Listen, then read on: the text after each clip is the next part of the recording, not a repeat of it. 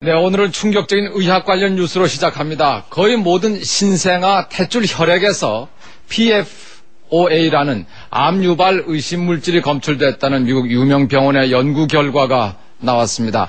프라이팬이나 음식물 포장지 등에 사용이 되는 테프론에 들어있는 화학 물질이 아이 탯줄에서 나온 것입니다. 연보흠 기자가 보도합니다.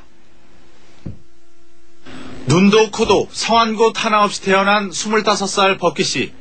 성형 수술을 30번이나 받았지만 상처는 지워지지 않고 있습니다. For some unknown reason, I was born with a deformity, and I need to find out what caused that. 그는 일그러진 얼굴이 어머니가 자신을 임신했을 때 일했던 미국 듀폰사의 테플론 때문이라고 확신하고 있습니다. 테플론은 음식물이 달라붙지 않아서 프라이팬이나 햄버거, 피자, 과자 같은 음식물 포장지, 등산복 등의 코팅제로 사용됩니다.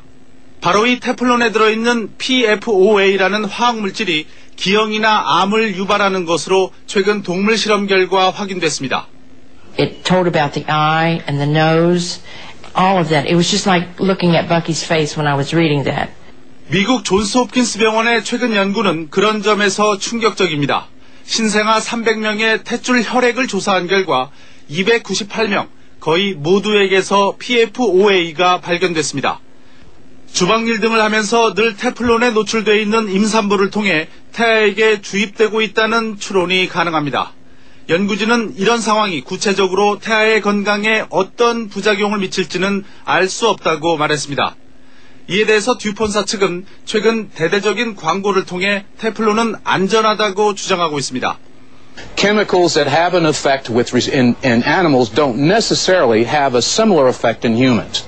그러나 미국 환경청은 PFOA를 잠재적 발암물질로 규정하면서 2015년까지 사용을 완전히 금지하라고 요구했고 듀폰도 이를 받아들였습니다.